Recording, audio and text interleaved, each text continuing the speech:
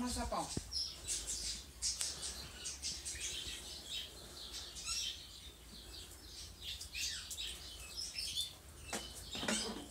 Fazer massagens. Eu não acredito. Oh pá, pelo amor de Deus.